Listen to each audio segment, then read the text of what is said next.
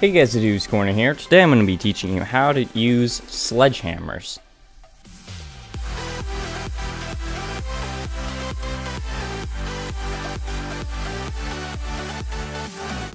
Now, sledgehammers are is an algorithm. Now, for n by n puzzles, there will be eight different forms of sledgehammers. Most of you might, most of you cubers might be sitting there thinking, "What? Eight algorithms?" Well, the answer is yeah. You might be surprised, but I will show you how all of them will work um, and explain them as best as I can. This video could be kind of complicated. I definitely would say that this video is really meant for those who know the CFOP method because um, this is really just an extra algorithm that can be helped applied. Um, but yeah, so let's just go ahead and start. Uh, the eight algorithms I will list, I'm going to show you each one and the names. So the first one is called the sledgehammer, of course, um, and it should be pretty straightforward. So the algorithms are named the sledgehammer, the hedge slammer, the left sledgehammer, the left hedge slammer, the opposite sledgehammer, the opposite hedge slammer, the opposite left sledgehammer, and the opposite left hedge slammer. Kind of hard to keep up with which one's which. Sometimes it'll get kind of, I might end up stumbling along with which ones are which. I'll do my best. I'll correct myself if I make a mistake. May not make complete sense, but as we go along, you'll be able to understand how these algorithms will be helpful and what their definite use could be for. Now, let's focus on all the remaining algorithms. So, sledgehammer is R prime, F, R, F prime. Hedge slammer is F, R prime, F prime, R. Left sledgehammer is L, F prime, L prime, F. Left sledge hedge slammer is F prime, L, F, L prime. Then there is opposite of sledgehammer, and this one is R, F prime, R prime, F the op- and then the opposite of hedge slammer, which is F prime R F R prime. Then there is the opposite of less left sledgehammer, and this one is L prime F prime L F. And then the opposite of left hedge slammer is F prime L prime FL. Stumbled along. There's a lot of different cases, and it's kind of hard to remember which one which ones were which. Now, what is an easy way of understanding this? Now, when people say sledgehammer, they consider are they turn down, down, up, up. But now I'll quickly go over what these all can be used for. They're all four moves. They're all kind of simple. They definitely can get confusing which ones are which, but what can they be used for? Well, Sledgehammer can certainly be useful for a different way to insert an F2L pair. Now, when inserting an F2L pair, we always, we generally would do R, U prime, R prime, but with Sledgehammer, you can perform the algorithm, which is R prime, F, R, F prime, and that also inserts it. Certain cases, it can be smarter for already skipping OLL, um, but there's all kinds of different reasons how Sledgehammer can be useful for that. Also, left sledgehammer is another way for inserting another F2L pair.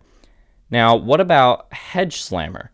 Well, hedge slammer, which is generally used for the kind of the opposite, it can be helpful for, say, taking out an F2L pair.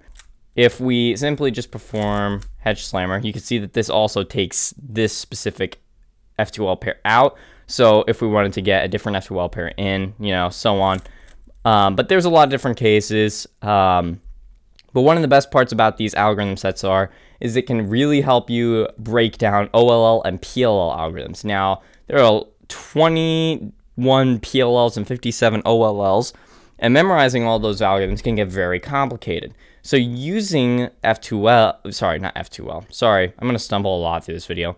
Using sledgehammers, it's easier to break down the algorithms for memorizing. That's definitely going to be one of the advantages. Now, what else can you use with sledgehammers? What about the opposite of sledgehammers? Because I brought those up. Well, when we look at the opposites, I'm going up, up, down, down. And so instead of down, down, up, up, for the regular sledgehammers, up, up, down, down. And this is taking out the F2L pair that is on top. So you're already holding this on white on top. If you want to save a rotation, you can simply perform the opposite of sledgehammer, and then that'll get the F2L pair in. I know that solved it, but I really don't want to have to scramble the cube and bring up specific cases for explaining, but you can see the picture where I'm going with this. And that's the same for left, uh, opposite of left and all that. It really can help with reducing rotations and specific cases.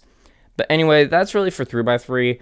Not only does this work for 3x3, it works for any n by n puzzle, 2x2, 3x3, 4x4, 5x5, 33x33. But yeah, you get the idea.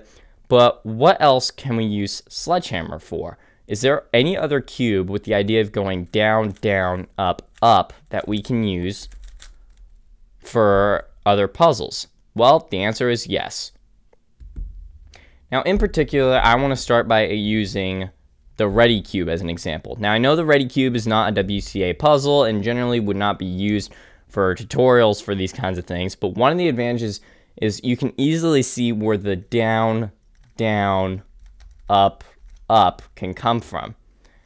And it's just a really, really good example of showing how sledgehammers work. And then, of course, hedge slammers and all that, they all work the same way, um, except when you go, you can also do the left version. Except here's the interesting thing. When it comes to different puzzles, other than the n by n puzzles, there's only going to be four algorithms instead of eight. And you might be thinking, well, wait a minute, can't you still perform the same ways if you consider this is the right side and this is the left? Well, the answer is no. Because when you perform Sledgehammer, now we would do Hedge Slammer, which is the invert or the opposite, to bring this back. But technically, this is also the left Sledgehammer. Now, this may not, this may be confusing, but simply put, there's only going to be four algorithms. So there's going to be Sledgehammer, Hedge Slammer, um, opposite of Sledgehammer, and then opposite of Hedge Slammer. So that's how that will work. I will list all the algorithms and all the different cases. Um, so it'll break it down a little easier for you guys. But now let's take a look at a different puzzle, Skewb. Now, Skewb is going to work the same way if we look at it to a Redi cube. This is one of the reasons why I want to make use of a Redi cube. Considering this is the right and this is the left, and this makes this is the right and this is the left. So we would go down, down, up, up, the same way we would go down, down, up, up. Works the exact same way. So then that means, because there's only four algorithms on the Redi cube, then that means there's only going to be four for the Skewb. And then what about the opposite algorithms? Now these are what come helpful for Skewb. So when we go up, up, down, down, what we just did is we performed a case from holding it at a different angle because we just simply did, when we rotate, we would just have to perform sledgehammer here in order to solve it. This is something for really those advanced cube solvers to realize how this can help reduce rotations. I would eventually make a tutorial on understanding this. I won't be posting that for a little while, but this is just for now for those advanced cube solvers to understand for reducing rotations. Now, what about other cubes?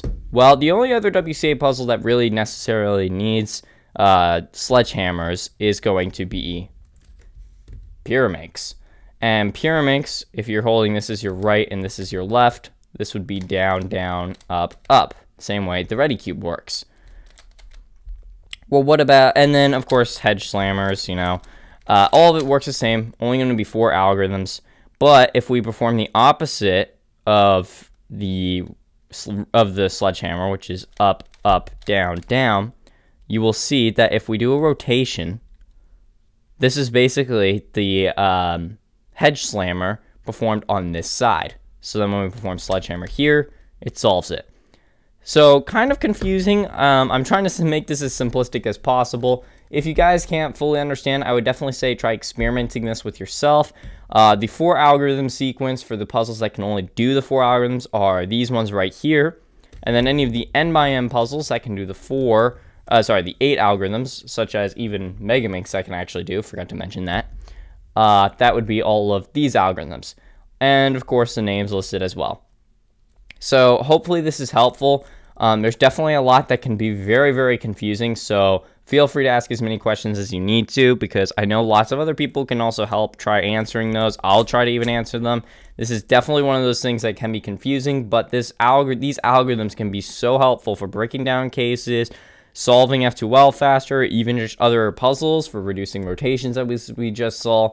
So keep that in mind that this can be very, very helpful for all kinds of different things. So anyway, that's everything for this video. If you found this video helpful, please remember to hit that like button down below and hit the subscribe button as well as the bell notifications to be notified when upcoming videos are released. So thank you all so much for watching and I'll see you all in my next video.